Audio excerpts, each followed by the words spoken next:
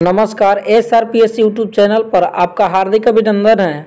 आज हम लोग देखेंगे अध्याय नौ। अध्याय नौ। अध्याय नौ में शीर्षक दिया हुआ है, प्रगीत और समाज। प्रगीत और समाज।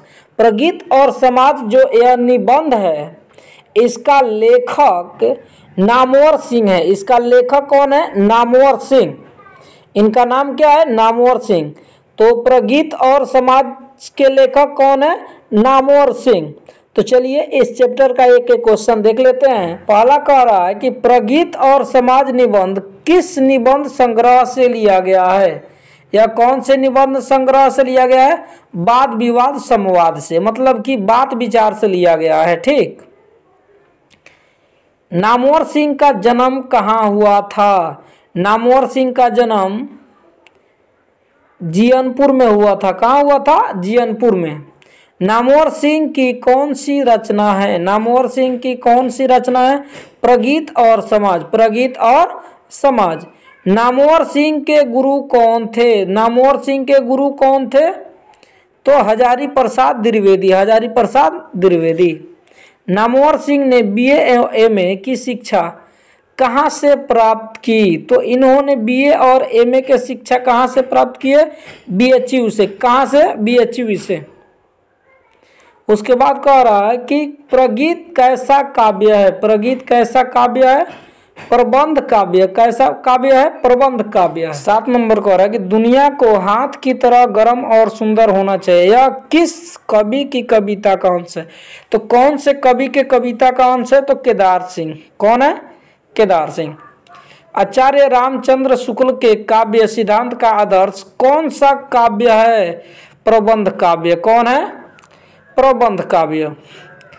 सहर्ष स्वीकारा है कविता के रचयिता कौन है? सहर्ष स्वीकारा है कविता के रचयिता कौन है?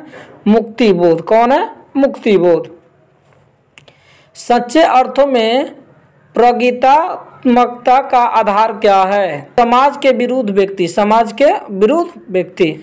पर किसने यह सातों सागर के पार एकाकीपन से ही मानो हार यह किस कवि के कविता का अंश है? तो यह कौन से कवि के कविता का अंश है? तो समेसर बहादुर सिंह समेसर बहादुर सिंह। तो नागार्जुन के काव्य संसार के प्रगीत नायक का व्यक्तित्व किस प्रकार का है? निष्ठ व फक्कड़। मानवर सिंह को कविता के नए प्रतिमान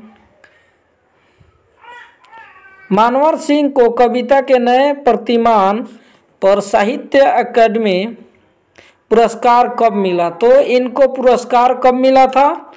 तो उन्नीस सौ इकहत्तर ईस्वी में, उन्नीस सौ इकहत्तर ईस्वी में। तन गई रीड किसकी कविता है? तन गई रीड किसकी कविता है? तो नागार्जुन, किनका? नागार्जुन का। यानी नागार्जुन का। नामवर सिंह उन्नीस सौ सत्तर में किस विश्वविद्यालय में हिंदी विभाग के अध्यक्ष पद पर प्रोफेसर के रूप में नियुक्त हुए थे? तो जोधपुर विश्वविद्यालय जोधपुर विश्वविद्यालय। दूसरी परंपरा की खोज किसकी रचना है? दूसरी परंपरा की खोज किसकी रचना है? नामोर सिंह के। किसकी? नामोर सिंह के। निम्नलिखित में कौन प्रलय की छाया के कवि है। कौन प्रलय की छाया के कवि है? जयशंकर प्रसाद। जयशंकर? तुलसीदास के रचयिता कौन है? तुलसीदास के रचयिता कौन है? सूर्यकांत त्रिपाठी निराला। सूर्यकांत त्रिपाठी निराला। तुलसीदास पर भी लिखे हुए हैं कविता। कविता के लिए प्रतिमान के लेखक है। कविता के लिए प्रतिमान। कविता के लिए प्रतिमान के लेखक। देखिए ये कविता के शीर्षक है, ठीक? तो इसके लेखक कौन है? तो नामोर सिंह। कौन है? नामोर सिंह।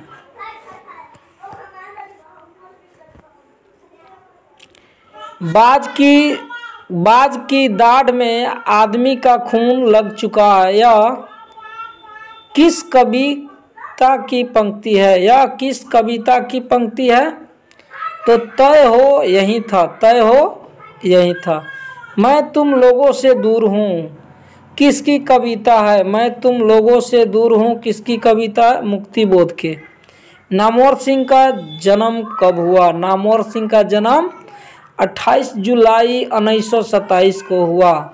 कौन सी पुस्तक नामोर सिंह की है? कौन सी पुस्तक नामोर सिंह की है? पृथ्वीराज रासो की भाषा। उसके बाद कह रहा है, कौन सी पुस्तक नामवर सिंह की नहीं है? तो इसमें से ही दोबारा क्वेश्चन आ चुका है कि कौन सी पुस्तक नामवर सिंह की नहीं है? तो तिरछी। कौन सी पुस्तक नामवर सिंह की नहीं है? तिरछी। राम की शक्ति पूजा किसकी कविता है? राम की शक्ति पूजा के कौन लेखक है? तो इनके लेखक कौन है? तो निराला जी। कौन है? निराला जी। प्रगीत और समाज के लेखक तो ये तो आया था नामोर सिंह। कौन है? नामोर सिंह। नामोर सिंह द्वारा लिखित प्रगीत और समाज क्या है? एक निबंध है। क्या है? एक निबंध है। नामोर सिंह को किस कृति पर साहित्यिक अकादमी पुरस्कार प्राप्त हुआ? तो कौन से चीज़ लिखे थे इनको? मिला हुआ था कविता के नए प्रतिमान। कविता के नए प्रतिमान जो कविता लिखे थे, इन्हीं पर इनको पुरस्कार मिला था। नामोर सिंह प्रधान संपादक थे। किस चीज़ के संपादक थे? तो यह आलोचना, क्या आलोचना के? कामयानी के कवि है, कौन है? कामयानी के कवि कौन है? तो प्रसाद। लिरिक का पर्याय है, लिरिक लिरिक के पर्याय क्या है? प्रगीत।